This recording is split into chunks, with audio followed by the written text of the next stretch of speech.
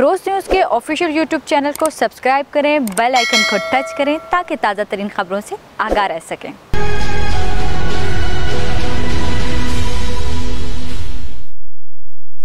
بسم اللہ الرحمن الرحیم، السلام علیکم۔ پروگرام تاریخ پاکستان احمد زاہ قصوری کے ساتھ میں میں ہوں آپ کا میزبان ثاقب سلیم قریشی۔ آج کے پروگرام میں ہم بات کریں گے ایک بار پھر وکلا گردی کے حوالے سے، جو خبریں بہت زیادہ پورے ہفتے ہم یہ دیکھ رہے ہیں کہ گردش میں رہی ہیں کہ چھبیس نومبر کو ایک شروعات ہوئی جس میں ڈاکٹرز کی جانب سے اشتعال انگیز بیانات دیے گئے، پھر وہ ویڈیو سوشل میڈیا پہ کافی وائرل ہوئی اور تقریر کے بعد ہم نے دیکھا کہ وکلا برادری کے وہ لوگ جو انصاف کے حصول کے لیے، انصاف دینے کے لیے عدالتوں کا دروازہ کھٹکھٹاتے ہیں، وہی ہمیں سڑکوں پہ نظر آئے۔ آخر ایسی کیا وجوہات تھیں کہ ہماری جو وکلا برادری ہے، جو وکیل ہیں، وہ ملک سے ہمیں جو ہے وہ سڑکوں پہ نظر آئے۔ آج ہم نے دیکھا، چیف جسٹس آصف سعید کھوسا صاحب نے بھی با آواز بلند اور بالکل اس کو واضح طور پر اس کی مذمت کی اور ساتھ یہ بھی کہا کہ معاملہ بھی کورٹ میں ہے، اس پر زیادہ بات نہیں کر سکتے۔ بہرحال، جو ہوا غلط ہوا نہیں ہونا چاہیے تھا۔ اس میں دونوں جانب جو بھی کورٹس ہیں، ایک وائٹ کورٹ اور ایک بلیک کورٹ ہے دونوں کو افام و تفیم سے مسئلہ حل کرنا چاہیے تھا۔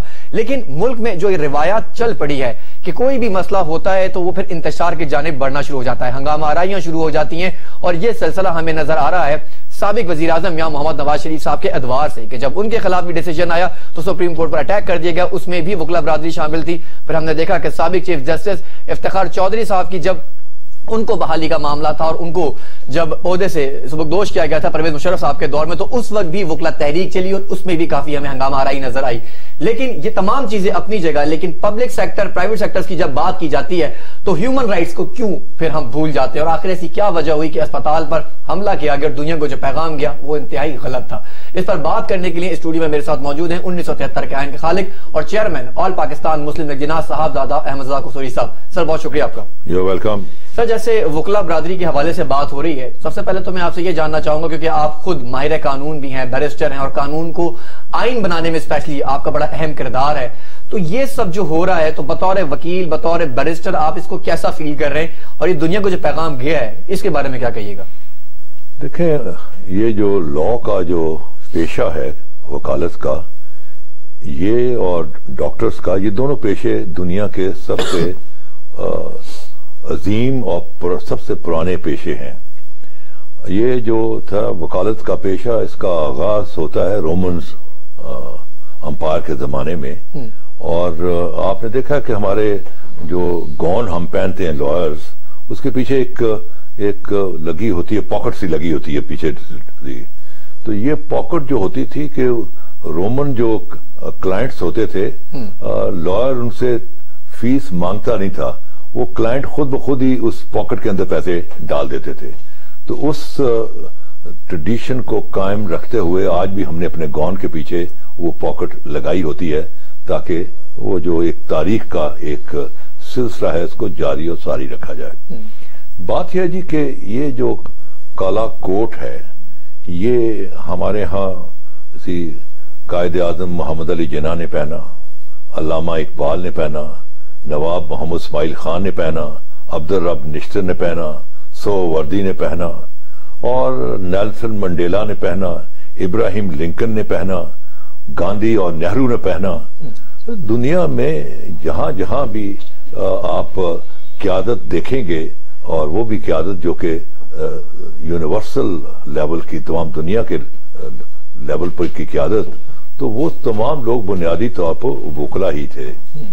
اب اس بیک گراؤنڈ سے اگر یہ ہنگامہ آرائی اور یہ غنڈا گردی جس کا مظاہرہ اپنا لاہور میں اس کارڈک سینٹر پر کیا گیا، آدمی کا شرم سے سر جھک جاتا ہے۔ اسی میں تو آنسٹلی سیریسلی سوچ رہا ہوں کہ I should say good bye to this law profession اسی میں بونجا سال میں نے اس پیشے میں ڈالے ہیں، لیکن ایٹ دی اینڈ اسی وین آئی ول اسی ڈراپ مائی پین تو مجھے یہ فخر نہیں ہوگا کہ میں ایک کسی عظیم پیشے کا ممبر رہا ہوں۔ یہ تمام جو سلسلہ شروع ہوتا ہے، یہ اس کی لمبی کہانی ہے۔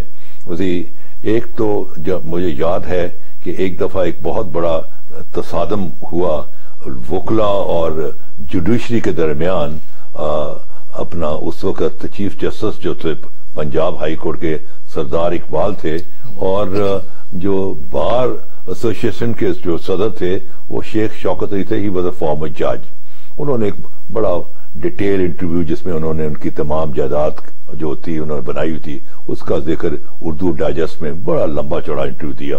اس پر انہوں نے کنٹیمپٹ کے نوٹسز ایشو کر دیے اپنا شیخ شوکت علی کو اور اظہار الحق تھے سیکرٹری تو ایک جوڈیش ایک تصادم کی شکل ہو گئی between the the bench and the bar اور بہت بڑا ایک ایک ہنگامہ آرائی کھڑی ہوگی پورے پورے پنجاب کے اندر مجھے یاد ہے کہ پھر یہ لاورس کا ڈیلیگیشن میرے پاس آیا اور ہم نے وہ جو کنٹمپٹ آف کورٹ لا کے اندر جو ریگرز تھے اس ریگرز کو اس سختیوں کو ہم نے جو ہے مائلڈ کیا اور وہ جو تھا ڈرافٹ جو تھا، جو کہ نائنٹین سیونٹی سکس کے کنٹمپٹ آف کورٹ ایکٹ کا جو ڈرافٹ تھا، وہ میں نے تیار کیا۔ اور دین ممبر پارلیمنٹ تھی۔ اینڈ کیونکہ this conflict had captured the imagination of jurist lawyers and politician everywhere کہ بہت بڑا تصادم آ گیا۔ تو اس میں ہم نے یہ کہا کہ یہ جو کنٹمپٹ آف کورٹ کا لا ہے اس کو تھوڑا سا مائلڈ کیا جائے اور وہ کس کیسے کیا ہم نے کہ مثال طور پر اگر آپ نے کسی جج کے بارے میں کوئی کہا ہے اور وہ سچائی پر مبنی ہے تو کنٹیمپٹ نہیں ہے۔ فیئر کرٹیسزم جو ہے اگر وہ کوئی میڈیا والا کرتا ہے یا کوئی اور کرتا ہے فیئر کرٹیسزم ججمنٹ کے اوپر تو fair criticism does not fall within the purview of contempt of court اس طرح ہم نے بہت سارے ڈیفنسز جو ہیں، جو کہ انیس سو چھبیس کے کنٹیمپٹ آف کورٹ ایکٹ میں نہیں تھے، وہ ہم نے نائنٹین سیونٹی سکس کا جو لا ہم نے، میں نے it was my private member bill it was my private member bill جس کو کہ گورنمنٹ نے جب وہ اڈاپٹ کر لیا and it was pass normally تو امریکہ میں تو بل جو ہیں، آپ کے نام پر ہوتے ہیں، کہ پریسلر امینڈمنٹ براؤن امینڈمنٹ تو یہاں بھی ابھی یہ وہ ٹریڈیشن نہیں چلی but it was my bill I introduce that bill اور وہ اس کے تحت یہ جو ہنگامہ آرائی تھی اس پر جو ہے قابو پایا۔ کیونکہ ہم نے یہ محسوس کیا کہ جو جج جو ہے اس کا جو جو ڈھال ہے اس کی اس کی عظمت کی ڈھال اس کا جوڈیشل کنڈکٹ ہے۔ اور یہی اپنا جو ایک بہت بڑے جج تھے اپنا انگلستان کے انہوں نے اپنا ڈیلی ٹیلی گراف کے کیس میں ڈیلی ٹیلی گراف نے کرٹیسزم کیا اور ان کو انہوں نے نوٹس ایشو کر دیا۔ تو جسٹس ڈیننگ جی، جسٹس ڈیننگ بہت بڑا آدمی گزرا ہے ان دی جوڈیشل فیلڈ۔ تو جسٹس ڈیننگ نے کیا کہا کہ دی contempt of court law should not be used by ججز as a shield, but the best shield for ججز ہز اون جوڈیشل کنڈکٹ۔ اس کا کنڈکٹ اتنا اب آپ بورڈ ہو کہ اس کی غیر موجودگی میں بھی لوگ کہیں کہ نہیں نہیں صاحب آپ نے یہ جو الزام نو پرسنلی نہیں نہیں نہیں ایسا ایسی بات نہیں ہے۔ اس کو ڈیفینڈ کریں لوگ کافی ہاؤسز میں کلب میں باہر میں بیٹھ کے اس کا کنڈکٹ اتنا اباب بورڈ ہو نہ کہ وہ اپنا سہارا لے اپنی عزت اور آبرو کا کنٹمپٹ آف کورٹ کے ذریعے۔ تو یہ جسٹس ڈیننگ نے اپنا ڈیلی ٹیلیگراف کے کیس میں کہا۔ اور یہی میں نے موقف لیا پارلیمنٹ میں جب میں نے ڈیبیٹ کی کہ یہ جو لا ہے اس میں جو ہے سہولت ڈالی جائے کہ آپ لوگوں کے کیسے لوگوں کے ہونٹوں پر آپ ٹیپ لگا دیں گے کہ وہ اپنا اظہار نہ کر سکیں۔ اگر ان کے اظہار میں ایک ایک پازیٹیو ویو ہے ایک پازیٹیو کرٹیسزم ہے ایک جینون کرٹیسزم ہے تو that court should accept it تو وہ لا میں نے پاس کیا۔ پھر بات یہ ہے کہ یہ جو اپنا جو جنرل مشرف کے زمانے میں جو یہاں ایک موومنٹ چلی لائرز کی اور وہ چودری افتخار صاحب نے اپنے حق میں چلوائی، اس موومنٹ میں جو ہمارے جو اخلاقیات تھی، جو ہمارا پروفیشنل ایتھک تھی اس کی دھجیاں کھیڑ دی گئیں اسی دھجیاں I was the only single handed ایک واحد وکیل تھا پورے ملک کے اندر پوری پاکستان کی بار اور وکلا ایک طرف احمد رضا قصوری ایک طرف۔ جو میں بار بار کہہ رہا تھا کہ یہ جو آپ بھاشن دے رہے ہیں کہ آپ گلی بازاروں میں نکلے ہیں جمہوریت کی خاطر رول آف لا کی خاطر فنڈامنٹل رائٹس کی خاطر عدلیہ کی آزادی کی خاطر یہ کوئی بھی باتیں جو ہیں یہ یہ جو ہیں، یہ معاشرے میں انٹروڈیوس نہیں ہوں گی، لیکن ایک چیز ضرور ہو جائے گی کہ پاکستان جو کہ اکنامکلی دو ہزار سات میں واز گیٹنگ اے بورن یہ پاکستان جو ہے، یہ ڈی سٹیبلائز ہو جائے گا اکنامکلی اور آپ نے دیکھا کہ وہ اپنا جو ڈالر جو تھا، اپنا ساٹھ روپے کا آج ایک سو ساٹھ روپے تک گیا ہے۔ تو یہ destabilise market economy jobs ختم ہو گئے۔ تو یہ تمام چیزیں میں ایک سینئر سیاستدان ہونے کے ناطے آئی کوڈ سی تھرو کہ یہاں کچھ بھی نہیں ہونا۔ نہ یہاں جمہوریت آنی ہے نہ یہاں رول آف لا آنا ہے یہاں یہاں فنڈامنٹل رائٹس کا عزت و احترام آنا ہے۔ یہاں یہی تو آئی پر ملکی رہے گی۔ لیکن پاکستان کی ریاست جو ہے وہ ڈی سٹیبلائز ہوگی جو ہو گئی۔ اور چودھری افتخار نے اس قسم کی ٹریڈیشنز لائرز کے اندر ڈال دیں کہ وہ ہاتھ ہاتھ چھوٹ ہو گئے ایسی تھی۔ وہ ہر چیز کو اپنے ہاتھ میں لینے پڑ رہے۔ چاہے وہ پولیس کو ہے تو پولیس کی پٹائی کر دی کلائنٹ ہے تو کلائنٹ کی پٹائی کر دی۔ عدالتوں کو تالے لگا دیے۔ عدالتوں میں جا کے جا کے ججز کی پٹائی کر دی۔ اپنا چیف جسٹس جو تھا پنجاب ہائی کا اس کے اس کے اس کے چیمبر میں گھس گئے۔ اگر اس وقت سیریس سٹیپس اٹھا لیے جاتے اور ڈسپلنری جو جو تھا پروسیجر اڈاپٹ کیا جاتا اور ان کو قرار واقعہ سزائیں دی جاتی اور ساری عمر کے لیے ان کو ڈسکوالیفائی کر دیا جاتا کہ they will never be a part of this great profession they are not fit تو بات بدقسمتی یہ ہے کہ یہ جو گلی گلی میں لا کالجز بنے ہوئے ہیں یہاں جو ایک تھوک کے حساب سے لوگ نکل رہے ہیں اور نقلیں مار مار کے لوئر بن رہے ہیں، یہ وہ طبقہ ہے۔ یہ جو جنہوں نے یہ جو بدتمیزی کی کہ دے ان کو جو ایتھک ہمیں دیکھیں جب ہم لوگ لا کالج میں اور اور بار وغیرہ میں تھے تو باقاعدہ ایتھکس کے اوپر لیکچر ہوتے تھے، اسی کنڈکٹ کے اوپر لائر کا کنڈکٹ کیا ہونا چاہیے in the court and outside court یہ ساری چیزیں سکھائی جاتی تھی اور یہ ایک اتنا تہذیب یافتہ پیشہ ہے کہ دیکھیں کہ آپ جو ہے، آپ جج کو اپنا ایڈریس کرتے ہیں مائی لارڈ جج آپ کو کہتے ہیں، اسی لرنڈ لرنڈ کونسل اسی اور آپ اپنے اپوزٹ کونسل کو ایڈریس کرتے ہیں تو مائی لرنڈ کالیگ اسی ایک عزت و احترام کا پیشہ ہے۔ اس پیشے میں اگر اس قسم کا انصر آ جائے گا جو کہ سامنے آ گیا، جنہوں نے کہ دھجیاں کھیڑ دی اخلاقیات کی، میں سمجھتا ہوں کہ انہوں نے بہت ظلم کیا اس پیشے کے ساتھ۔ آج جو ہے اور مجھے یہ بھی کہنے میں آر نہیں ہے کہ people like Raza Rabbani and Hamid Khan جن کی میں تھوڑی بہت کوئی احترام کرتا تھا ان کے ویوز کی انہوں نے بھی اسی ڈر یا خوف کے مارے انہوں نے وہی لائن اڈاپٹ کی جو باقی لائرز کر رہے ہیں۔ اور مجھے، میں سمجھتا ہوں کہ انہوں نے جو لائن اڈاپٹ کی، یہ یہ یہ ڈر، خوف ہے یہ سچ بول ہی نہیں سکتے۔ سچ کہنے میں ان کے منہ پر تالے لگے ہوئے ہیں۔ They can't speak the truth تو رضا ربانی کے بارے میں میرا ویوز بڑے اچھے تھے لیکن فارچونیٹلی یہ جو اس نے اپنا ایک سائڈ لی انیسسریلی ڈیفینڈ کیا آئی فیل کہ اس نے بھی اپنے آپ کو لوور کر لیا لوگوں کی امیجنیشن میں۔ تو چیز یہ ہے کہ یہ ریاست کو چاہیے اگر ریاست کی ریٹ کمپرومائز ہو جائے اور اس طرح کے ہنگامے ہوتے رہیں اور لوگ قانون کو اپنی ہاتھ میں لے لیں اور ریاست جو ہے وہ مسکرا کے دیکھتی رہے، تو میں سمجھتا ہوں کہ یہ ریاست جو ہے اپنی ذمہ داریوں میں فیل ہو چکی ہے۔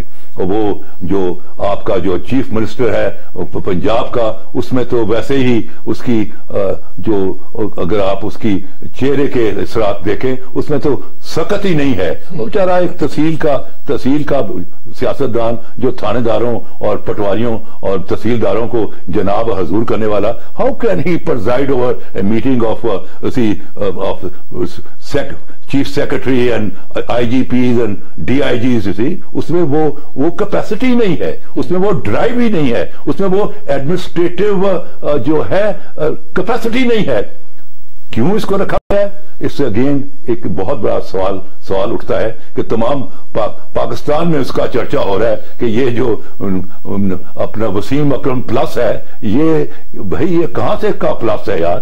یہ تو اپنا بالکل ٹوٹلی ہی utter failure utter failure so therefore میں سمجھتا ہوں کہ یہ چیف جسٹس کو بھی جاتے جاتے اس کو میں سمجھتا ہوں کہ اس کو چاہیے کہ اس کا سو موٹو نوٹس لے۔ اگر اگر جنرل باجوہ کی آپ جو ہے اس کی نوٹیفکیشن ایسے موقع پر سسپینڈ کر سکتے ہیں، جبکہ پاکستان حالت جنگ میں ہے اور دیر آئی بال ٹو آئی بال کنفرنٹیشن اور ایسے uh, اوکیجنز پر ایسے انوائرمنٹ میں you can't afford a change of command اسی تو اگر چیف جسٹس صاحب اس کے جو نوٹیفکیشن کو سسپینڈ کر سکتے ہیں، تو چیف جسٹس صاحب آپ کا امتحان آ چکا ہوا ہے. یو شوڈ ٹیک نوٹس صرف آپ کی تقریر کافی بنے گا. You should take notice and punish them according to the law, no matter whether they are the bar councils or you, but you must take action firmly and establish the rule of law. Pakistan Pakistan ka ek, ek bad impression international world mein gaya hai. For God sake اس کو یہ ڈیٹیوریٹنگ جو پاکستان کا جو impression ہے، اس کو بچائیے. Pakistan is a viable country Pakistan is not a poor country Pakistan is a huge big democratic country اس کے اس امیج کو، جو کہ اس کا اس کا جو بنانے والا was a law brilliant constitution law اس کے اس کے کانسپٹ کو کنسیو کرنے والا ایک اپنا شاعر مشرق علامہ اقبال یہ تمام they were all barristers they were very distinguished people یہ وہ لوگ تھے جو کہ قوموں کے قوموں کے لیڈر سے تو انفارچونیٹلی یہ یہ کراؤڈ پاکستان کو لیڈ کرے گا۔ دے آر سلر یہ پاکستان اور کے نام پر دھبا ہیں۔ And they should be dealt in accordance with law no matter کہ اس سے whether it's a popular premier or unpopular میں take the decision and do it اگر نہ کیا تو یہ کل کو ابھی تو سپریم کورٹ بچی ہوئی ہے یہ سپریم کورٹ کے بھی دروازے بند کریں گے کسی دن سر، جیسے آپ نے بات کی ہے کہ ان کے خلاف ایکشن ہونا چاہیے اور قانون کسی سے بالا تر نہیں ہے۔ جیسے خود چیف جسٹس آصف سعید خدا صاحب پچھلی دفعہ بھی کہہ چکے تھے کہ طاقت کا تانا ہمیں نہ دے انہوں نے یہ لفظ بار بار استعمال کیے تھے اور آج بھی انہوں نے جو اسپیچ کی ہے، اس میں یہی کہا کہ ابھی کیونکہ کورٹ میں فیصلہ ہے تو اس پہ میں زیادہ بات نہیں کرنا چاہتا۔ یہاں سر، میں آپ سے ایک بات اور جاننا چاہوں گا کہ قانون کیا کہتا ہے، سزا کیا ہوگی، یہ تو ایک الگ معاملہ ہے۔ آج یہ لوگ جو سڑکوں پہ نکلے تھے، کل یہ بھی کہیں نہ کہیں کسی جگہ پہ جج جا کے لگیں گے، ان کی پروموشنز ہوں گی، آگے جائیں گے۔ یہ فیصلے کس طرح کریں گے جو خود اپنا قانون ہاتھ میں لے کے بیٹھے اللہ رحم کرے، اگر ان میں سے اور آلریڈی آپ کے جو بیشتر ججز ہیں، وہ اسی طرح ہی ہیں۔ پولیٹیکل پارٹیز کے، اسی ورکرز تھے، ان کے نعرے لگاتے تھے گلے پھاڑ پھاڑ کے۔ چودھری افتخار کی موومنٹ میں گلے پھاڑ پھاڑ دے ور ایلیویٹڈ اسی تھی۔ انفارچونیٹلی اسی تھی۔ تو یہ ساری چیزیں جو ہیں، یہ دنیا دیکھ رہی ہے۔ اسی فور گاڈ سیک اپنے آپ کو کسی اولیجن میں مت رکھیں۔ دنیا آپ کو واچ کر رہی ہے اینڈ ویری کریٹیکلی واچنگ اسی اگر یہ جو جوڈیشل سسٹم بھی اگر کلیپس کر گیا اور لوگوں کا جو ہے ایک اعتماد اس جوڈیشل سسٹم میں ختم ہو گیا تو پھر توائف الملوکی ہوگی۔ پھر تو جس شخص کے پاس گلی میں بڑا چھرا ہوگا وہی اس گلی کا میجسٹریٹ ہوگا اور وہ فیصلے کر رہا ہوگا۔ فیصلے کر رہا ہوگا۔ سر اس پہ دوبارہ سے میں بات کرتا ہوں۔ سر ٹیلی فون پہ ہمیں جوائن کیا ہے۔ سینیٹر بیگ صاحب نے انور بیگ صاحب نے۔ بیگ صاحب آپ کا بہت شکریہ۔ تھینک یو سر میرے ساتھ اسٹوڈیو میں موجود ہیں احمد قصوری صاحب اور ہم بات کر رہے ہیں کہ پاکستان میں اس وقت جو ایک انتشار کی کیفیت پیدا ہو گئی ہم دیکھ رہے ہیں کہ ایک ڈاکٹر جو مسیحا ہوتا ہے اور ایک وکیل جو عدالتوں میں انصاف کے لیے ہمارا ہمیں گائیڈ کرتا ہے دونوں ہی سڑکوں پہ نکل آئے ہیں۔ تو جو دنیا میں امیج گیا ہے وہ اتنا پازیٹیو نہیں گیا ہے۔ آپ کیا سمجھتے ہیں کہ ایسے میں حکومت پاکستان کو کیا کرنا چاہیے؟ پہلے تو قصوری صاحب کو میرا سلام قبول کریں۔ وعلیکم السلام۔ جی دیکھیں سب سے پہلے تو میں یہ کہنا چاہوں گا کہ یہ پہلی بات پروونشل گورنمنٹ کا فیلئر ہے اور پھر فیڈرل گورنمنٹ کا فیلئر اس کی وجہ یہ ہے کہ ہم نے ایک اتنی بڑی فوج انٹیلیجنس بیورو میں بھرتی کر کے رکھی ہوئی ہے۔ کوئی سات آٹھ ہزار آدمی ہیں پورے پاکستان میں۔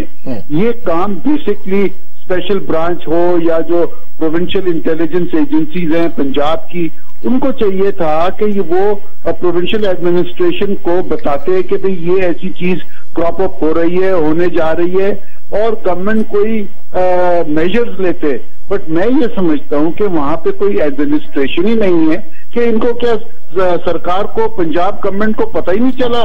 اور یہ جو ہماری انٹیلیجنس بیورو ہے انڈر منسٹری آف انٹیریئر ان کو بھی کوئی اطلاع نہیں تھی کہ بھئی ایسی چیز کچھ ہونے جا رہی ہے پنجاب کے اندر between the lawyers and the young doctors تو میں یہ سمجھتا ہوں پہلے تو یہ ٹوٹل فیلئر ہے گورنمنٹ کی کہ یہ اس چیز کو اوائڈ کر سکتے تھے۔ ہم یہ اتنی بڑی ہم نے انٹیلیجنس بیورو کائی کے لیے پال کے رکھی ہوئی ہے۔ یہ پبلک منی سے ان کی تنخواہیں جاتی ہیں۔ I mean they are recruited for the safeguard of public property and public life تو یہ اس طریقے سے جو ہوا ہے یہ بہت افسوسناک ہے جیسے آپ نے کہا جو ہوا ہے۔ جی جی۔ آپ نے انٹیلیجنس بیوروز کی بھی بات کی ہے۔ یہاں ایک بات میں آپ سے بھی کرنا چاہوں گا اور فائدہ اٹھانا چاہوں گا آپ کے تجزیے کا بھی۔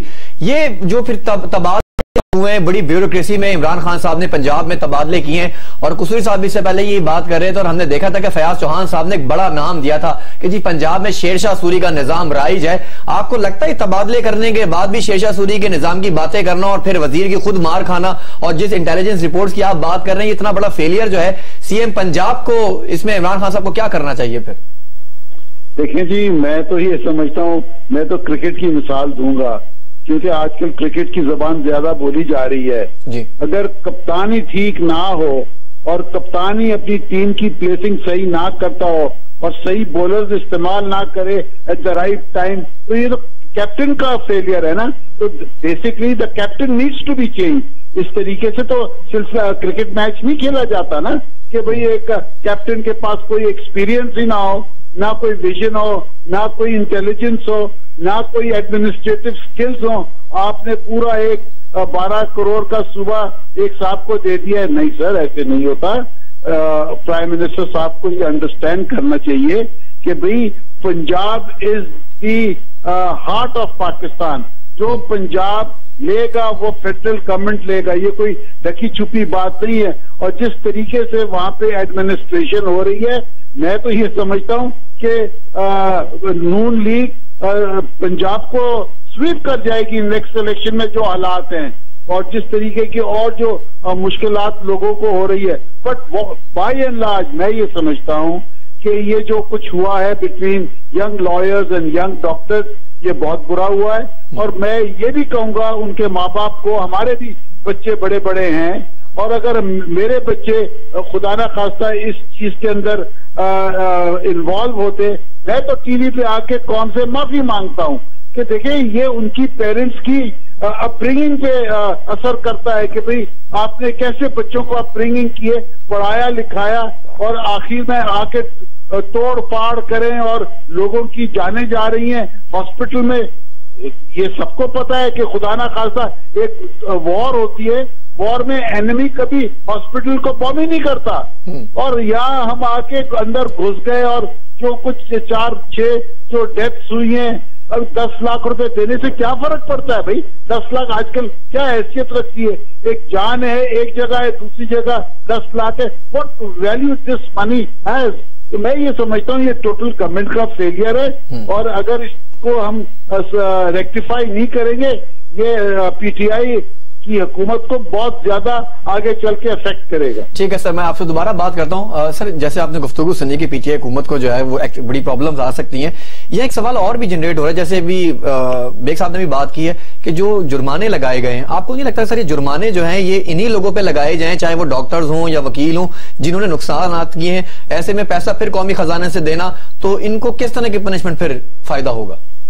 ویسے تو جی میں سمجھتا ہوں کہ جو آپ کا لا آف دی لینڈ ہے اگر وہ اپنا اللہ دتا چراغ دین پر لاگو ہے تو they are not above board اسی لا سب کے لیے برابر ہے ان کو جو ہے اگر ثابت ہو جاتا ہے کہ they they they involved in sort of terrorist activity جیسے ابھی بیگ صاحب نے ذکر کیا دیکھیں کہ جنیوا کنونشن کے اندر ہاسپٹلز آر پروٹیکٹڈ مریض آر پروٹیکٹڈ دشمن بھی جو ہے، وہ ہاسپٹل پہ آ کے بامبنگ نہیں کرتا۔ تو یہاں آپ کے وہ لوگ جو کہ قانون کے علم بردار ہیں، جو کہ قانون کو نافذ کرتے ہیں، جو کہ لوگوں کو انصاف دلواتے ہیں۔ اگر وہ قانون کو اپنے ہاتھ میں لے لیں گے، تو پھر تو قانون کی تو دھجیاں اکھڑ گئیں۔ ایسی صورتحال میں اس کو ماضی فیوچر میں کیونکہ پہلے آپ نے جن اپنا چودھری افتخار کے زمانے میں ان کو ٹیک اپ نہیں کیا because they were all blue eyed boys of Chaudhry Iftikhar. کیونکہ وہ اس کو لے کے آئے تو he was indebted to them اب تو جو ہے پریزیڈنٹ جوڈیشی وہ تو اپنے میرٹ پر آئی ہوئی ہے۔ تو ان کو تو چاہیے کہ اگر وہ روز لوگوں کو سزائیں دیتے ہیں قانون کے مطابق تو کیا وکیل جو ہے کالا کوٹ پہنے کے بعد ابو لا ایکچولی اس پر تو لا زیادہ افیکٹو ہوتا ہے کہ ایک قانون دان ایک قانون کا محافظ، اگر محافظ جو ہے وہ لا بریکر ہو جائے تو it's a very serious offence کہ ایک محافظ جو ہے وہ لا بریکر ہو گیا ہے۔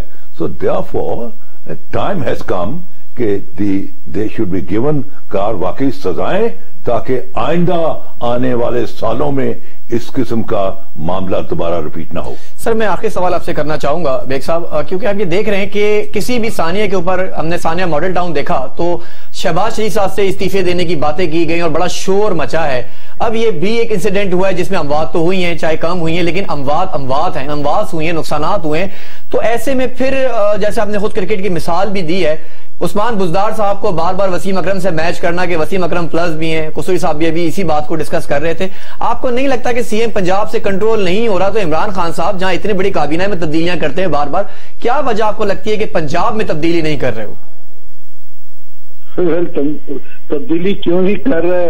مجھے تو اس کا کوئی علم نہیں ہے بٹ میں یہ سمجھتا ہوں کہ یہ فضول کی ضد لے کے بیٹھ کے رہنا کہ جی نہیں بزدار صاحب چلتے رہیں گے، چلتے رہیں گے۔ آپ نے ان کو چلے اپوائنٹ کر دیا، ڈیڑھ سال ہو گیا۔ اب ڈیڑھ سال کے اندر مجھے کوئی چیز، کارنامہ بتائیں as a member of public I would like to know what good has Mr Buzdar done for the people of Punjab کوئی ایک چیز بتائیں۔ یعنی لوگوں کو اتنی مشکلات ہو رہی ہیں، ہر چیز میں مہنگائی آپ کو پتہ ہے جس طریقے کی آسمانوں سے باتیں کر رہی ہیں یعنی سبزیوں کے دام کہاں سے کہاں چلے گئے دیکھیں جی جب تک ایک کامن مین ایک غریب آدمی تین ٹائم کی کا کھانا نہیں کھا سکتا، میں نہیں سمجھتا وہ اکانومی صحیح ہے۔ اگر اکانومی صحیح ہے، آج تو وہ ہے فار دا رچ ایلیٹ وہ رچ ایلیٹ کتنی ہے پاکستان میں؟ مشکل سے ایک پرسنٹ بھی شاید نہ ہو۔ Ninety nine percent people are poor and very poor اور اس کے اندر مور دین ففٹی پرسینٹ آپ چارے تین ٹائم کا کھانا نہیں کھا سکتے۔ تو میں یہ سمجھتا ہوں پنجاب ایک ہمارا بڑا بڑا پروونس ہے۔ آئی مین ایک بڑے بھائی کا رتبہ رکھتا ہے۔ وہاں پہ governance should be top class top class اور پنجاب کی اگر اکانومی صحیح چلے گی جہاں پہ اتنی انڈسٹری ہے، ملک کے حالات اچھے ہوں گے لا اینڈ آرڈر صحیح ہوگا۔ تو میں یہ سمجھتا ہوں کہ پی ٹی آئی کے لیڈرشپ کو یہ سوچنا پڑے گا کہ بھئی یہ اس طریقے سے یہ سلسلہ نہیں چل سکتا۔ یہ کب تک چلائیں گے؟ اس کو اس طریقے سے ڈریک کریں گے۔ یہ تو ہمیں تو ایسا محسوس ہوتا ہے کہ Islamabad is running the province of Punjab وہاں پہ تو کچھ ہو ہی نہیں رہا۔ وہاں پہ یعنی میری تو سمجھ میں نہیں آتا کہ what good has this gentleman done in the last sixteen month for the people of Punjab ہر آدمی رو رہا ہے وہاں پہ۔ یعنی لا اینڈ آرڈر کے برے حالات ہیں۔ آپ لوٹ مرڈر ریپ بچوں کے ساتھ زیادتیاں یعنی کیا کچھ نہیں ہو رہا۔ اور پھر وہ ایک انسیڈنٹ جو ہوا تھا یہ کون سی جگہ ہوا تھا بھی یہ کسور کے اندر یا کہیں ہوا تھا جو وہ بچوں کو اور ماں باپ کو مارا تھا سائیوال وہ کچھ نہیں ہوا۔ تو میں یہ سمجھتا ہوں کہ یہ people were expecting much more out of the P T I government اور میں تو سمجھتا ہوں کہ ایک جنرل پبلک آپ کبھی مارکیٹ جا کے دیکھے لوگوں سے بات کریں جو لوگوں نے پی ٹی آئی کو ووٹ ڈالا وہ آج الٹی دعا کر رہے ہیں پی ٹی آئی کے لیے۔ ٹھیک ہو گیا سر بہت یہ شکریہ سر آپ کی آپ کے ٹائم کا بہت شکریہ سر آپ کے ٹائم کا۔ اور آپ کا بھی یہی کہنا ہے کہ ظاہر ہے پنجاب کے چیف منسٹر کو تبدیل ہونے کی ضرورت ہے اور وہ ڈیلیور نہیں کر پا رہے جس کی ایکسپیکٹیشنز کی جا رہی تھی۔ اور قصوری صاحب بھی یہی بات کر رہے تھے۔ تھوڑا سا پروگرام کو اب آگے بڑھاتے ہیں اور بات کرتے ہیں پاکستان کی موجودہ سیاسی صورتحال کے حوالے سے بھی۔ تو سر ابھی آپ نے بھی ایک بڑی پریس کانفرنس کی ہے اور اس میں بھی آپ نے بھی پاکستان سے متعلق جو سیاسی ایجنڈاز ہم دیکھ رہے ہیں چاہے وہ مہنگائی کی بات کی جائے یا کسی اور مسائل کی بات کی جائے پاکستان کے کیبنٹس کی بات کی جائے۔ ڈیسیجنز میکنگ ہمیں نظر نہیں آ رہی ہے۔ تو پریس کانفرنس آپ نے بھی کی اور بڑا سراہا گیا اس کو بھی ہم دیکھ رہے ہیں کہ سوشل میڈیا پہ بھی کافی اس کی ڈیولپمنٹس ہوئی ہیں اور اس میں آپ نے پھر گول میں اس کانفرنس کا بھی ذکر کیا اور بارہ بارہ حکومت کو تجاویز دے رہے ہیں۔ اس بارے میں بھی ذرا کچھ بتائیے گا۔ ساکب آپ نے کیونکہ سوال کیا ہے تو میں آپ کو بتاتا ہوں کہ اس کے بارے میں میں نے ایک واشنگٹن میں ایک راؤنڈ ٹیبل کانفرنس کا انعقاد کیا، جس میں کہ پاکستانی جو تھے میڈیا کے لوگ اور اکیڈیمیا کے جو یونیورسٹیوں میں پڑھا رہے ہیں and they are prominent business man اس قسم کے لوگوں کو ہم نے بلایا اور وہاں ہم نے ایک ایک کھلی ڈسکشن کی۔ اس میں میں نے پریزنٹیشن دی، اس کے بعد ڈیبیٹ سٹارٹ ہوئی۔ میری پریزنٹیشن میں بنیادی جو میرا تھا، اپنا نقطہ نظر، وہ یہ تھا کہ پاکستان جو ہے، اس کی بنیاد نہ لسانی قومیت ہے، نہ ثقافتی قومیت ہے، نہ جغرافیائی قومیت ہے۔ اگر ان تینوں میں سے کوئی ایک ہوتی تو آج جو ہے، پنجاب تقسیم نہ ہوتا اور بنگال تقسیم نہ ہوتا۔ کیونکہ پنجاب کے اندر برکت رام، برکت سنگھ اور برکت علی کی لسان، زبان ایک پنجابی، اس کا کلچر بلے شاہ، وارے شاہ، جگنی ایک، اس کا جغرافیہ ایک۔ اس کے باوجود جو ہے پنجاب تقسیم ہوا اس کے باوجود بنگال تقسیم ہوا۔ اس کی اس کا مطلب یہ ہے کہ پاکستان کی بنیاد نہ لسانی قومیت ہے نہ ثقافتی قومیت ہے نہ جغرافیائی قومیت ہے۔ اگر ان تینوں میں سے کوئی ہوتی تو پھر یہ نہ پنجاب تقسیم ہوتا نہ بنگال تقسیم ہوتا۔ تو چیز یہ ہے کہ پاکستان کی جو بنیاد ہے وہ ہے مسلم قومیت۔ اب چیز یہ ہے کہ یہ جو نعرے تھے لسانی قومیت اور ثقافتی قومیت کے، یہ نعرے جو تھے، یہ رشیا میں ڈیولپ ہوئے۔ کیونکہ رشیا کی جو چھ ریاستیں تھیں، جنہوں نے انیس سو ستنا کے ریولوشن جس کو بالشیوک ریولوشن کہتے ہیں اور سپٹمبر ریولوشن کہتے ہیں اس میں جو اس کا پنچ تھا اس ریولوشن کا وہ ان ریاستوں سے تھا۔ لیکن لیڈرشپ جو تھی وہ سوویٹ رشیا سے تھی اپنا لینن اینڈ سٹالن کی۔ جب ریولوشن سیٹل ڈاؤن ہو گیا تو جب مسلمان ریاستوں نے اپنا حقوق مانگے اپنے اپنے تعداد کے مطابق اپنی حجم کے مطابق تو ان کو ان کے مرکزی نقطہ، ان کا مرکزی نقطہ تھا اسلام مسلم اور امہ کا جو کانسپٹ تھا، اس سے ہٹانے کے لیے انہوں نے کہا کہ تم ازبک ہو، تم کازک ہو، تم منگول ہو۔ ان کو ان کو قومیت میں تبدیل کر دیا گیا۔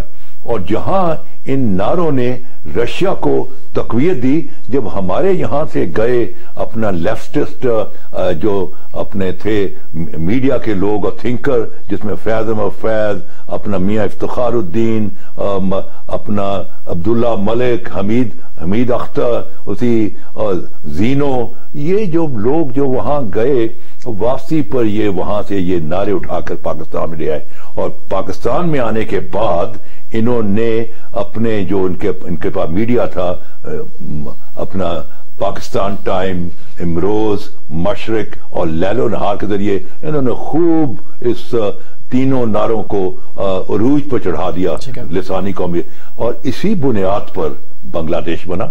بنگالیوں نے کہا کہ ہماری زبان اور ہے ہمارا کلچر اور ہے ہمارا جغرافیہ اور ہے۔ تو دے سیپریٹڈ آج اسی بنیاد پر سندھو دیش کی بات ہو رہی ہے. آج اسی بنیاد پر گریٹر بلوچستان کی بات ہو رہی ہے.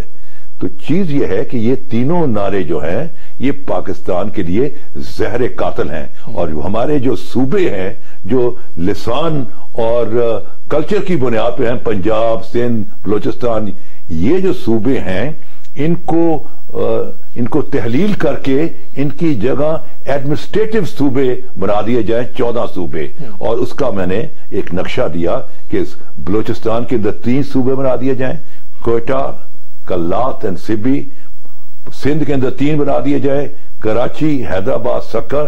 پنجاب کے اندر پانچ بنا دیے جائے بہاول پور ملتان سرگودا، لاہور اینڈ رولپنڈی اور سوبا کے پی کے میں تین بنا دیے جائیں۔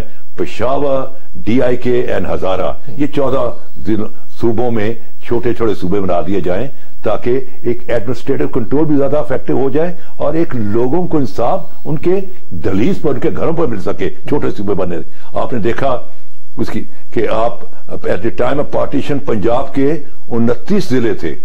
تیرہ ہندوستان میں گئے، سولہ ہمیں ملے۔ انہوں نے تیرہ ضلعوں میں تین صوبے بنا دیے۔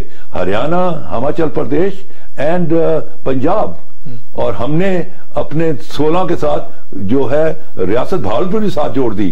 آج اگر کوئی شخص کوئی پارٹی پنجاب سے کامیاب ہو جاتی اکسیت میں، اس کو نہ سندھ میں جانے کی ضرورت ہے، نہ بلوچستان میں، نہ کے پی کے میں، وہ پنجاب سے پورے پاکستان کو جس کا نتیجہ یہ ہو رہا ہے کہ پنجاب جو ہے، باقی صوبوں کے لیے ایک گالی بنتا جا بنتا جا رہا ہے۔ یہاں جب بھی وہاں سے آوازیں اٹھتی ہیں، Punjabi army, Punjabi civil service, Punjabi ججز، یہ سارے نعرے اس لیے ہیں کہ ہم تقسیم ہوئے پڑے ہیں زبانوں میں اور کلچر میں۔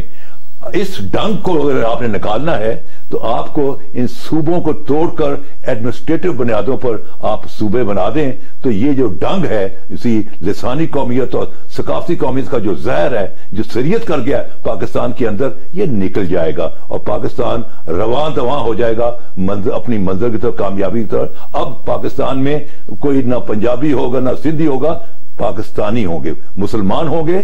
اور پاکستانی ہوں گے۔ تو اسی کانسپٹ کو میں نے ابھی پانچ چھ دن پہلے کامسیٹ یونیورسٹی کا ایک ایک ایک سیمینار تھا جس میں پانچ چھ یونیورسٹیز کے اسٹوڈنٹس آئے تھے۔ اور وہاں انہوں ان میں جو کانسیپٹ ہم نے دیا کہ یہاں وہاں گروپس بنے ہوئے ہیں۔ یہ پنجابی گروپ ہے یہ سندھی ہے پٹھان یہ فیڈرل یونیورسٹی میں۔ جو کہ آپ نے دیکھا کہ جی، جی۔ اسلام آباد قائد اعظم یونیورسٹی میں اسی پر ہی مرڈر ہو گیا اسی۔ تو یہ ہم نے وہاں کانسیپٹ دیا بھائی بھائی کا۔ کہ آپ سب بھائی بھائی ہیں۔ آپ نہ بلوچی ہے نہ سندھی ہیں نہ پٹھان ہیں۔ آپ بھائی بھائی ہیں مسلمان ہیں پاکستانی ہیں اور بھائی بھائی ہیں۔ تو یہ کانسپٹ میں نے وہاں دیا اور جو بڑا چار یونیورسٹیوں کے وہاں سٹوڈنٹس کو ہزار کے لگ بھگ تھے جن کو جن نے بڑا افیکٹولی یہ کانسپٹ کیا۔ تو دوسرا میں سمجھتا ہوں کہ پاکستان میں پریزیڈینشل سسٹم جو ہے وہ پاکستان کی جو معروضی حالات ہیں، اس کو سوٹ کرتا ہے۔ کیونکہ ہمارے ہاں آیا جو Westminster system parliamentary system جسے کہتے ہیں، کیونکہ ہم انگریز کے غلام تھے، ان کا سسٹم ہم یہاں لے کے آئے۔ لیکن انگریز کے نظام کوکس تو سات سو سال سے چل رہا ہے۔ بارہ سو پندرہ میں میگنا کاٹا آیا اور میگنا کاٹا سے آج تک کچھ سات سو سال ہو گئے۔ سسٹم چل رہا ہے۔ ان کی سریت میں وہ وہ سسٹم چلا گیا۔ ہے ان کے کلچر کا حصہ وہ سسٹم بن گیا۔ ہے آپ نے جب یہاں لائے تو آپ کے ہاں تو تعلیم ہی نہیں ہے۔ وہ کہتے ہیں کہ democracy without education is a hypocrisy without limitation کہ ایک جمہوریت بغیر تعلیم کے ایک تصنع تو ہو سکتی ہے جمہوریت نہیں ہو سکتی۔ hmm. تو یہ جو الیکٹ ہو کے آتے ہیں ایم این اے وغیرہ اور ایم پی ایز وغیرہ ان کا جو ہے they are not committed with the legislation حالانکہ ان کی بنیادی جو ریکوائرمنٹ ہے، وہ ہے لیجسلیشن اینڈ پالیسی میکنگ آپ ڈیڑھ سال ہو گئے کوئی آپ کے ہاں وہاں کوئی فارن پالیسی پر کوئی ڈبیٹ ہوئی، کوئی کشمیر پر ڈبیٹ ہوئی، کوئی اپنا، اپنے آپ کے جو ہے اکنامک پالیسیز کے اوپر ڈبیٹ ہوئی، وہاں ہنگامہ رائی ہے دستور گہرے بان ہے ایک دوسرے کی ماں بہن کر رہے ہیں۔ تو if this is a democracy تو اس کو اس کو میں تبدیلی لانی پڑی گی اور یہ جو ایم این ایز اور ایم پی ایز ہیں ان کی پاور کا کدھر ہے؟ ان کی پاور ہے making of the government and breaking of the government یہ جہاں بیس کا گروپ چلا جائے وہ گورنمنٹ بن جاتی ہے۔ جہاں سے دس بار نکال لیں گورنمنٹ گر جاتی ہے۔ تو یہ ان کی پاور جہاں یہ نیگوشیٹ کرتے ہیں اپنے بندے جاہل قسم کے ان کو وزیر بنواتے ہیں پرمٹ لیتے ہیں لائسنس لیتے ہیں۔ جب یہ بیس پچیس کا گروپ بنا جاتے ہیں تو اپنے جو اس اس وقت کا وزیر اعظم ہے اس کے پاس جاتے ہیں کہ جناب ہم پریشان ہیں ہم ناراض ہیں ہم جا رہے ہیں۔ تو وہ کہتا ہے کیا, کیا چاہیے اس جی؟ دو وزارتیں دو اتنے لائسنس دو۔ تو ان کی ساری کی ساری جو طاقت ہے، وہ ہے in the making of the government breaking of the government وہیں سے یہ پیسے بناتے ہیں، وہیں سے ان کا ان کا انفلوئنس ہوتا ہے۔ پریزیڈنشیل سسٹم آف گورنمنٹ میں ایک آدمی الیکٹ ہو کے آئے گا، جس کو پورا پاکستان الیکٹ کرے گا۔ اور وہ بندہ الیکٹ جو ہو کے آئے گا، تو اس کو اپنی کابینہ میں جو ممبرز ہیں، اپنی کابینہ کے ممبر ہیں they need not be members of the of the of the assemblies See, whoa, they will be intellectuals. They will be the men of uh, high grade education and and and, and dignity.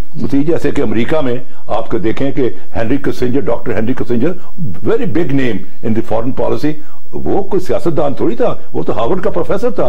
تو جب یہاں بھی یہ system آ جائے گا اور جب president کے پاس ایک بڑا وائڈ ایک ڈسکریشن ہوگا to pick up talent and اور پڑھے لکھے لوگ اپنی کابینہ میں لانے کے تو لیول آف گورننس جو ہے وہ بڑھ جائے گا۔ اور پھر ویسے بھی جو ہمارے مولوی حضرات جو اپنا خلافت کے نظام کی بات کرتے ہیں تو ہم اپنے دینی نظام میں اس کو خلیفہ کہتے ہیں اس کو ویسٹرن نظام میں اس کو پریزیڈنٹ کہتے ہیں۔ پریزیڈنٹ کی وہی پاورز ہیں جو خلیفہ کی ہیں۔ اسی تو چیز یہ ہے کہ اس سسٹم میں پریزیڈنشل سسٹم میں سٹیبلٹی آئے گی کنٹینیوٹی آئے گی۔ وہ اس میں اس میں جو ہوتا ہے ٹرنیور اپائنٹمنٹ ہوتی ہے۔ جیسے امریکہ میں اپنے پانچ چار سال گزارتا ہے پریزیڈنٹ پریزیڈنٹ اور نومبر میں الیکشن ہو جاتے ہیں اور اگلے سال یعنی بیس جنوری کو ہینڈی گو ٹیکم ہوتی ہے اور چھ مہینے پریزیڈنٹ الیکٹ جو ہے پریزیڈنٹ جو چل رہا ہوتا ہے اس کے ساتھ آ کے بیٹھ جاتا ہے in the oval oval office اور وہ by inches transfer of power ہونی شروع ہو جاتی ہے۔ تو اس میں ایک پاکستان کو میں سمجھتا ہوں اگر کوئی سسٹم سوٹ کرتا ہے پاکستان کے معروضی حالات کو، اور خاص طور پر جبکہ parliamentary system is an utter failure اسی اس میں اس صورتحال میں میں سمجھتا ہوں کہ پاکستان کو پریزنشل سسٹم لاگو کرنا چاہیے اور یہی دو چیزیں میں نے اپنی پریس کانفرنس میں اس کا تذکرہ کیا جس کو بہت پریزی رائے ملی اور بہت اس کا جو ہے سوشل میڈیا پر بھی اس کا بڑا جیسے آپ نے ذکر جی، جی، کیا اور آپ کی پریس کانفرنس کے حوالے سے یہ خبر میں دیتا چلوں کہ آپ کی تجاویز کے اوپر امپلیمنٹ شروع آلموسٹ ہو ہی چکا ہے اور اب یہ خبریں کنفرم ہیں کیونکہ آپ نے جب پریس کانفرنس کی ہے اور اس کے تقریباً تین چار دن اس کے فوراً بعد منگل کو کابینہ کا اجلاس بھی تھا اور اس اجلاس میں آپ کی پریس کانفرنس کا حوالہ بھی دیا گیا ہے اور بھاولپور جو ریاست جسے آپ نے ذکر بھی کہے شامل کیا گیا بھاول پور صوبے کے حوالے سے تیاریاں مکمل کر دی گئی ہیں اور جنوبی پنجاب کی جو باتیں کی جاری تھی اس کے حوالے سے یہ ہے کہ ملتان جو ڈویژن اور رحیم یار خان، اسے ملا کے بھاولپور میں شامل کیا جا رہا ہے اور بھاولپور کو صوبہ بنایا جا رہا ہے۔ تو آپ کی یہ تجویز کے مطابق بھاولپور پر تو انہوں نے کام شروع کر دیا اور کہا جا رہا ہے کہ آئندہ آنے والے دنوں میں قومی اسمبلی میں وہ پیش کر دیا جائے گا۔ چلے میں مطلب کہ دو سے بیس میل لیکن اگر دیر آئے درست آئے دیکھیں انڈیا میں ایٹ دی ٹائم پارٹیشن آٹھ یا نو صوبے تھے آج ان کے کس صوبے ہیں تو کیا ہندوستان کمزور ہو گیا؟ ہے افغانستان بہت چھوٹا ملک ہے وہاں اکیس بائیس صوبے ہیں۔ تو چیزیں امریکہ میں ان کی چھبیس کروڑ کی آبادی ہے ہماری کوئی بائیس کروڑ کی ان کی چھبیس کروڑ کی آبادی ہے تو پچاس ریاستیں ہیں۔ ففٹی ون ڈرافٹ ہے سر کریٹ تو آپ کو جاتا شروعات تو ایٹلیس ہو گئی ہے کہ میں نے جی۔ اس کی ایک فاؤنڈیشن لے کر دی ہے انٹلیکچول ہے جیسے کہ لاما اقبال نے نائنٹین تھرٹی میں کہ جو خطبہ ہے اعلیٰ بات تھا، اس میں بنیاد رکھتی ٹو نیشن تھیوری کی، دو قومی نظریے کی۔ میں نے بھی ایک کانسیپٹ کی بنیاد رکھ دی گئی ہے، اگر کل کو یہ چیزیں امپلیمنٹ ہوتی ہیں، تو تاریخ مجھے یاد کرے گی کہ یہ کانسپٹ جو تھے، احمد رضا قصوری نے دیے تھے۔ سر یہ تو میں ابھی بھی آپ کو یہ خبر ہے، کیونکہ یہ بالکل مصدقہ اطلاعات ہیں، کیونکہ پیر کو آپ نے پریس کانفرنس یہ منگل کو یہ کابینہ کے اجلاس میں ڈسکس ہوا ہے۔ ڈرافٹنگ کی تیاریاں شروع ہو چکی ہیں، اور یہ کہا جا رہا ہے کہ بھاولپور سے تقریباً تیرہ صوبائی نشستیں ہوں گی، اور ملتان ڈیویجن اور رحیم یار خان سے تقریباً تینتیس کے قریب جو ہے صوبائی نشستیں رکھی جا رہی اس کا ڈرافٹ آلموسٹ تیار ہو چکا ہے۔ کسی وقت بھی آئے گا لیکن یہ کریڈٹ رہتی دنیا تک۔ ظاہر ہے آپ نے بڑا انیشیٹو لیا ہے۔ امریکہ میں بھی آپ نے بات کی ہے پاکستان میں بھی آ کے بات کی ہے۔ اور مستقبل سے بات کی جا رہی ہے۔ تو سر اس سے پہلے بھی آپ کی تجاویز پر بہت زیادہ کام ہوتا رہا ہے۔ کیا کہیں گے اس پر آپ؟ ہاں دیکھیں میں نے دیا تھا مثلا کشمیر کا جو معاملہ آیا تھا تو میں نے کہا تھا کہ فورن آفس کے اندر ایک کشمیر ڈیسک بنایا جائے۔ اور headed by a federal secretary ایک ایڈیشنل سیکرٹری کے اور وہ مانیٹر کرے کہ امبیسیاں جو ہیں پاکستان کی وہ کس انداز میں کشمیر کے کوز کو اپنے اپنے علاقوں میں جہاں جہاں وہ تعینات ہیں، ان کی یونیورسٹیز میں، ان کے تھنک ٹینک میں، ان کی پارلیمنٹیرینز کے پاس، ان کی، ان کے میڈیا کے پاس، کس انداز میں اور کس طرح وہ جو ہے کشمیر کے بارے میں آگاہی پیدا کر رہے ہیں۔ اور خاص طور پر جو وہاں ہیومن رائٹ وائلیشن ہے کیونکہ اہل مغرب جو ہے، اس وقت ہیومن رائٹس کے اوپر بڑا فوکس ہو رہا ہے۔ تو ہیومن رائٹ وائلیشن وہاں بتائی جائے اور ہر ایک امبیسی کے اندر ایک سیل کریٹ کر دیا کیا جائے ہیڈڈ بائی اے کاؤنسلر جو کہ کشمیر سیل ہو اور وہ اس کی جو ہے مانیٹرنگ جو ہے وہاں کا امبیسڈر کرے اور کچھ چیک کرے کہ مہینے میں اس سیل کے جو بندہ ہے اس نے کتنی یونیورسٹیوں کو ڈیس کیا کتنے تھنک ٹینکس کو ڈیس کیا کتنی میڈیا کے لوگوں کو ڈیس کیا کتنے بزنس گروپس کو کیا جو کہ اس ایریا میں کام کر رہے ہیں۔ تو اس کی رپورٹس یہاں آئے یہاں جب کٹھی رپورٹیں آئیں تو وہ جو ہے فورن آفس میں ایک آپ کو ایک پورا کا پورا جائزہ سامنے آ جائے گا۔ پورے ڈیفرنٹ کنٹریز uh, کی رپورٹ جب آئیں گی کہ پاکستان جو ہے وہ کشمیر پر آیا افیکٹولی کام کر رہا ہے۔ آیا ہم سچ مچ uh, کشمیر کے وکیل ہیں یا ہم صرف آن لوکر ہیں؟ کیونکہ آپ دیکھیں کہ عمران خان اٹھائیس سے انتیس کو واپس آئے ہیں سپٹمبر کے، اس کے بعد سے یہاں پھر شروع ہو گیا ہنگامہ رائی اور ہو گیا اپنا دھرنے کا قصہ۔ اینڈ جب سے یہ جو ایشو ہے کشمیر کا، وہ بیک برنر پہ جا چکا ہے۔ اور آپ نے دیکھا کہ کشمیر کے جو ہے، وہاں آج ایک سو تیس، بتیس دن ہو چکے ہیں۔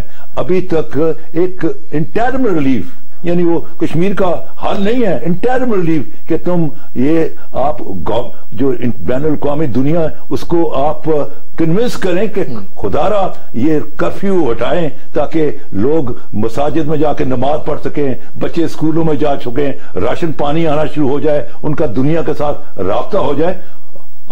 اگر وہ نہیں ہم آپ کرا سکے، اور آپ نے دیکھا دو امریکن سینیٹر جو انڈیا کی طرف سے جان انٹر ہو رہے تھے، ان کو روک دیا گیا۔ اور روہیل گاندھی کو جو اپنے ڈیلیگیشن کا گیا اس کو سری نگر کی ایئرپورٹ سے ہی واپس کر دیا گیا۔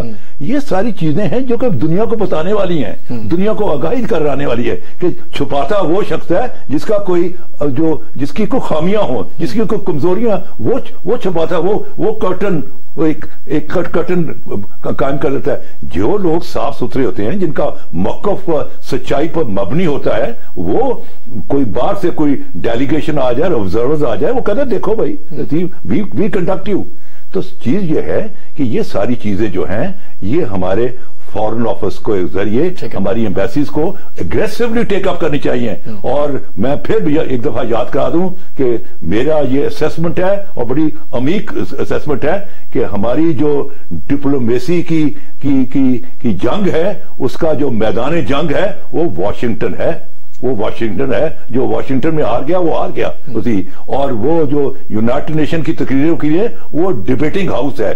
تالیاں بھائی ویل ڈن بہت اچھی تقریر ہے۔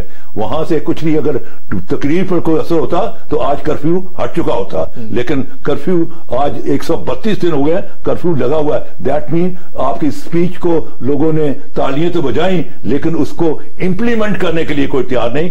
وہ جو پیچھے طاقتیں بیٹھی ہیں یونائٹڈ نیشن کے پیچھے ان طاقتوں پر کام کرنے کی ضرورت ہے اور اس لیے میں کہتا ہوں Washington is the battle ground آپ وہاں آپ کے ایک سفیر ہوتا ہے واشنگٹن میں ایک آپ کا پرمنٹ ریپرزینٹیو نیو یارک میں ہوتا ہے یہاں آپ بیسٹ مائنڈ بھیجیں جو کہ پاکستانی کمیونٹی کے ساتھ مل کے کام کو آگے چلائیں۔ انڈیا یہی کر رہا ہے۔ انڈیا کے best brains best diplomats Washington میں ہیں اور وہ انڈیا والے وہاں کی جو ہندو آبادی ہے امریکہ کی اس کو ساتھ لے کے چل رہے ہیں۔ اور اس کا آپ نے رزلٹ دیکھ لیا کہ ہوسٹن میں ایک چائے بیچنے والے ان پڑھ دو جو لفظ چار انگریزی کے نہیں بول سکتا پچاس ہزار آدمی تھا۔ اور کیونکہ پچاس ہزار آدمی تھا تو پریزیڈنٹ آف امریکہ بھی کھچا چلا آیا۔ اور وہاں اسے آ کے اس جائل آدمی کی تعریفیں کی۔ کیوں؟ کہ انہوں نے اپنی سٹرینتھ دکھا دی۔ یہ سٹرینتھ آپ بھی دکھا سکتے ہیں۔ لیکن اس کے لیے آپ کو اچھے ڈپلومیٹ بھیجنے پڑیں گے۔ ڈائنمک جو کہ دن رات ایک مشن کے طور پر پاکستان کے لیے کام کرے۔ چلیں بہت شکریہ۔ چیئرمین اور پاکستان مسلم لیگ جناب صاحبزادہ احمد زادہ قصوری صاحب، جو تبصرہ کر رہے تھے، جو تجزیہ کر رہے تھے اور ہمیشہ پروگرام میں کوئی ایسی تجویز دے جاتے ہیں جس جس کو ہم دیکھتے ہیں کہ وزیر اعظم عمران خان صاحب اس پر عمل درآمد کرنے کی کوشش بھی کرتے ہیں، کابینہ میں ڈسکس بھی وہ چیز آتی ہے، زیر بحث بھی ہوتی ہے اور عملی طور پر وہ ہمیں نظر بھی آتی ہے۔ جو بھی ہم دیکھیں، ہم نے محکمہ اوقاف کی آپ نے ایشو اٹھایا جیل خانہ جات پہ آپ نے بات کی، آپ نے لینڈ گریبنگ کی بات کی، آپ نے درختوں کی کٹائی کے حوالے سے بات کی ہے۔ جو جو ایشوز آپ نے اٹھائے، اس پر عمران خان صاحب کی حکومت نے منوان عمل کیا ہے۔ کشمیر کشمیر ڈیسک کی آپ نے جب بات کی تو اس کو بھی ہم نے دیکھا کہ دنیا میں ہمیں نظر آئی اور تمام فورن آفیسز میں جو ہے وہ کشمیر ڈیسک کا قیام بھی منظر عام پہ آیا۔ آپ نے صوبوں کے حوالے سے بھی بہت اچھی تجاویز دی ہیں۔ آپ نے واشنگٹن میں بھی جس طرح تمام اسٹیٹس میں جا کے بھی آپ امریکہ میں لوگوں سے ملیں اور آپ نے وہاں پہ بھی بڑے اہم مقات پہ پیش رفت کی اور کشمیر کا نقطہ آپ نے ہمیشہ اٹھا کے رکھا ہے۔ اب دیکھنا یہ ہے کہ باولپور سے صوبے کا آغاز ہو چکا ہے۔ جیسے کہ آپ کی تجویز تھی، اس پر بھی کام شروع ہو چکا ہے۔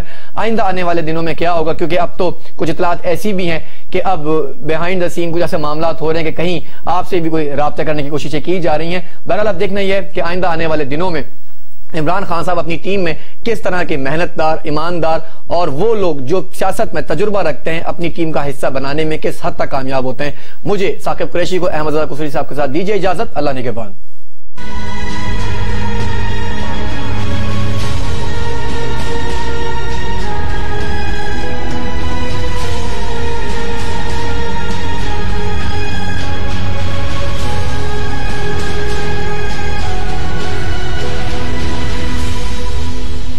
روز نیوز کے آفیشیل یوٹیوب چینل کو سبسکرائب کریں، بیل آئیکن کو ٹچ کریں تاکہ تازہ ترین خبروں سے آگاہ رہ سکیں۔